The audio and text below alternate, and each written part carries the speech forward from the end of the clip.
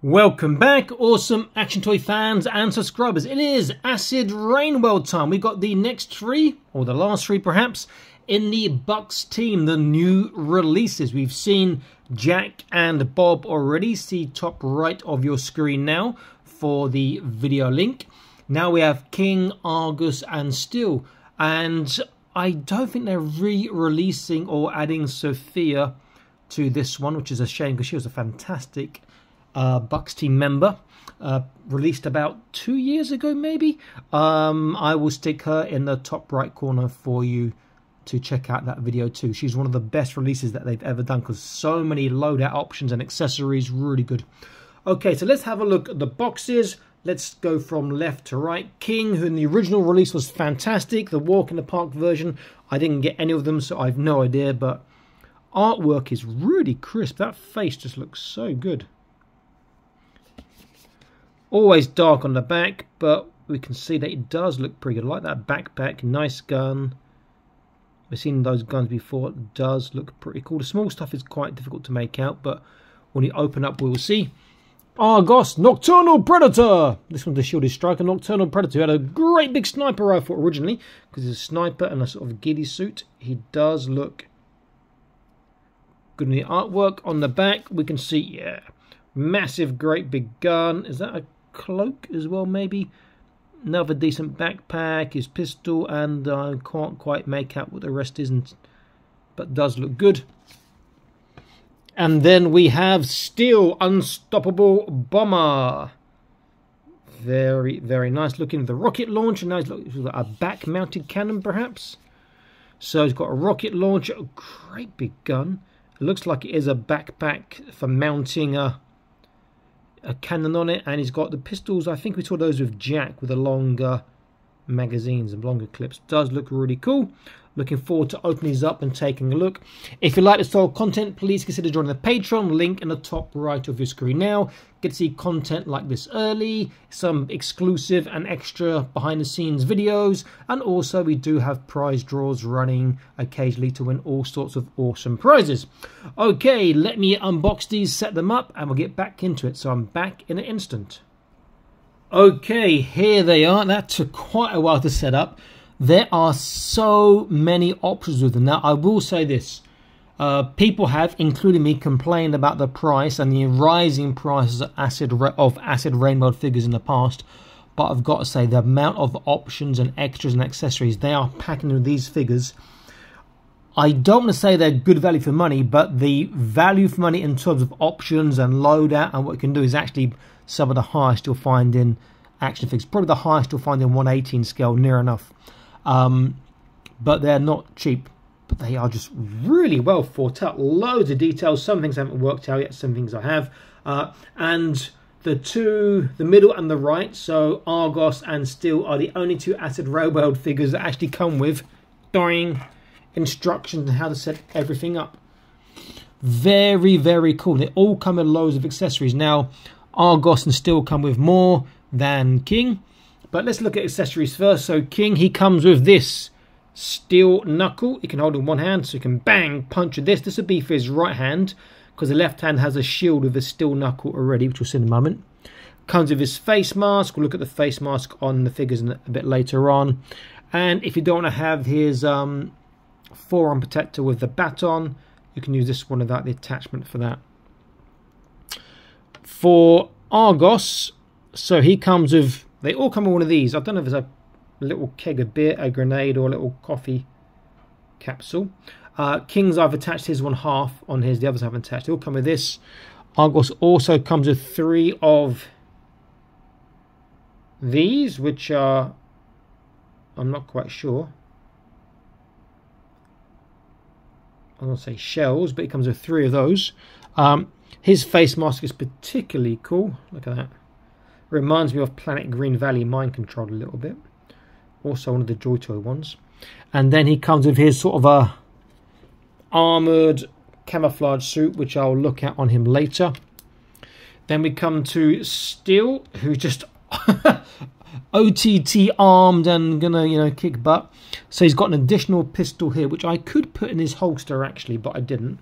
So actually he could hold this one. He comes with a bipod I'm assuming for his uh, big gun that he's uh, holding at the moment. He comes with another two sort of grenades like this and then another one again different style like this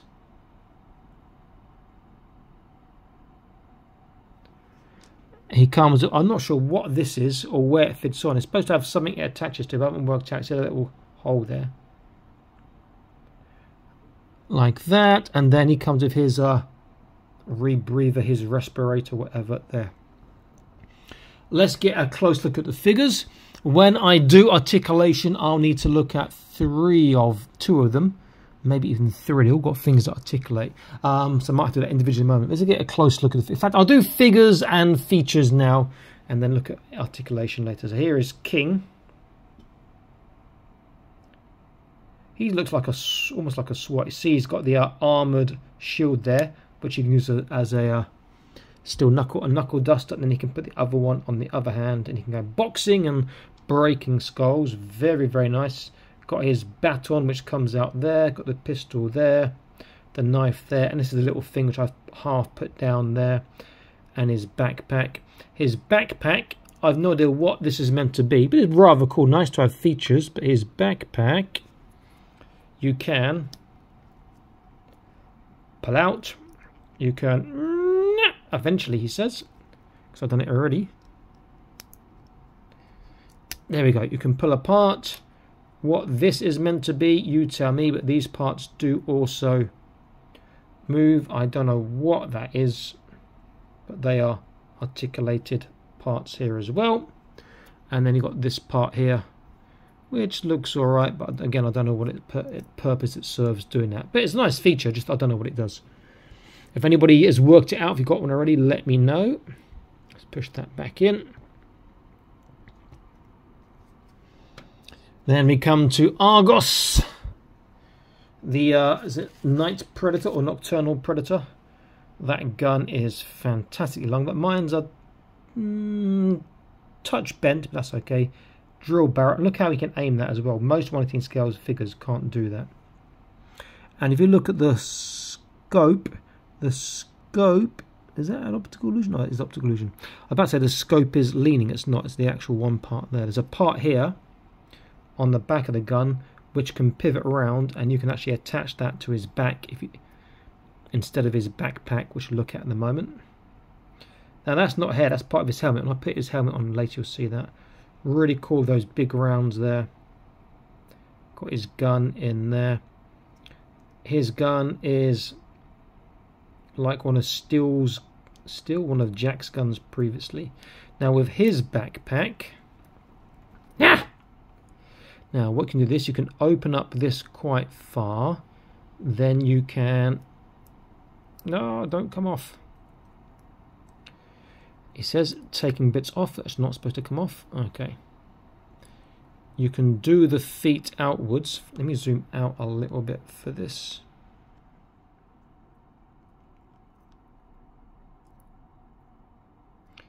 That will come down a bit further. And then that I take his gun out of his hands, can be used, which way is it? I think it's this way. If I get this right, it should be like, I believe, doesn't help that I've got pieces pinging off because I've not assembled correctly. It's that way. You have the two at the front, or on the front, I can't remember, have a quick look. It's the one at the front, sorry. You have it this way, and then this can slot in there, and that can almost slot in there. You put the bipod down, and if I get it right,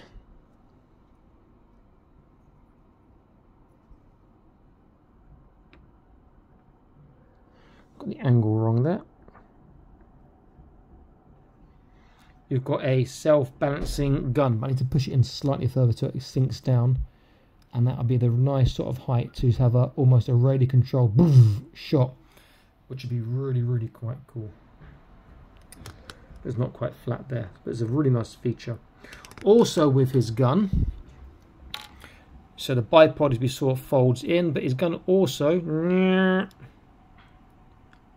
folds back on itself to make it smaller.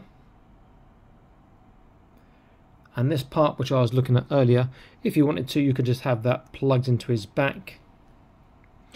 Uh, and then you can just twist that round and he looks rather cool with that in his back.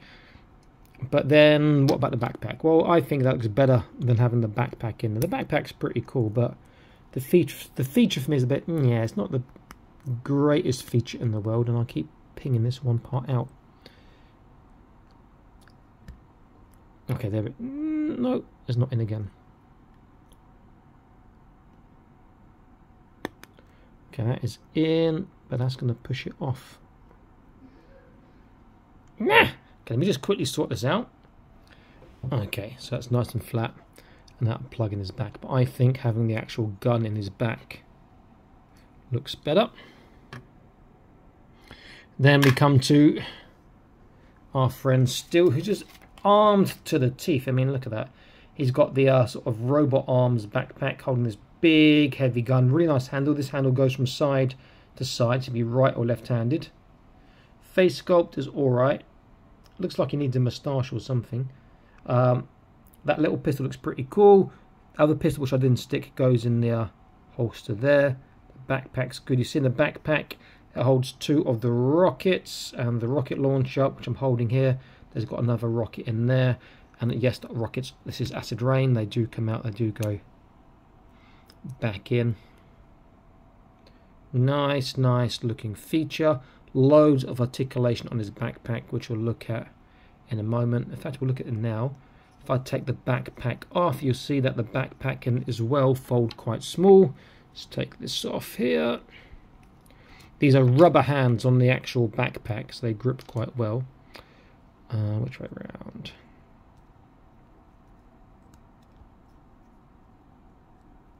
so you could just do something like that and you can plug it in and it's a lot smaller if you wanted to. You could have the arms down instead if you want.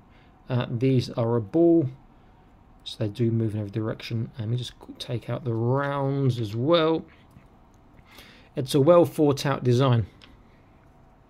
So what we'll do now, we'll do articulation. So I'll start with the backpack, then I'll choose one figure. So here's the backpack, plugs in.